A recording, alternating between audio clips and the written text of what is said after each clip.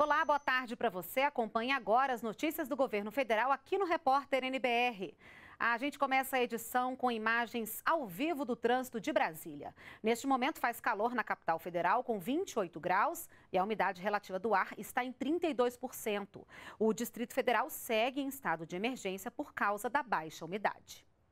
E agora a gente fala da agenda do presidente Michel Temer, que hoje está no Paraguai.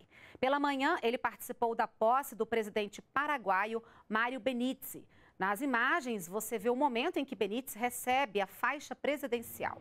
Ele estava acompanhado da esposa Silvana Bo. A solenidade foi no Palácio de los Lopes. O momento foi marcado por uma salva de tiros de canhão. Uma, um grande público assistiu à posse da praça em frente ao palácio. Além do presidente Michel Temer, participaram chefes de Estado do Uruguai, Colômbia, Bolívia, Guatemala, Argentina e Taiwan. Estados Unidos, Rússia e Espanha também mandaram representantes para acompanharem a posse de Benítez. O Brasil é o principal parceiro comercial do Paraguai. Em 2017, o intercâmbio comercial foi de mais de 3 bilhões e 700 milhões de dólares. Nos primeiros sete meses deste ano, a corrente de comércio já ultrapassou os 2 bilhões de dólares. O Brasil foi o primeiro país que o presidente eleito, Mário Benítez, visitou em reconhecimento da profundidade e importância dos laços que unem as duas nações. E a equipe da TVNBR, que está em Assunção, conta pra gente um pouco da forte relação entre Brasil e o país vizinho. O apartamento fica em Assunção, mas não tem como esconder. A hospitalidade e a alegria aqui são genuinamente brasileiras. Vai lá, meninas! Sim! Este grupo de brasileiras se reúne uma vez por mês na capital paraguaia. São paulistas, cariocas, pernambucanas que deixaram o Brasil para construir uma nova história no país vizinho. Nos encontros, elas combinam ações sociais para ajudar crianças e famílias pobres. Algumas vieram para cá porque se casaram com paraguaios, outras em busca de novas oportunidades. Nós somos muito bem recebidas aqui no Paraguai. Existe uma troca muito grande de conhecimento, uma troca de carinho também, né? País irmão e somos muito bem recebidos.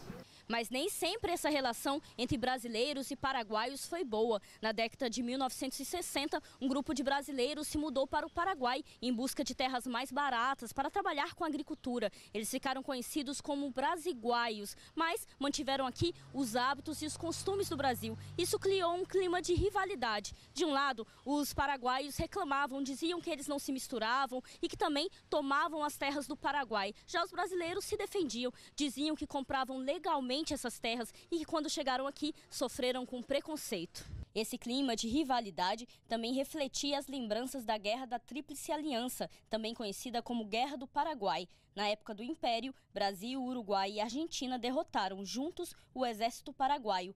Não há números precisos, mas historiadores estimam que grande parte da população masculina paraguaia morreu vítima da guerra.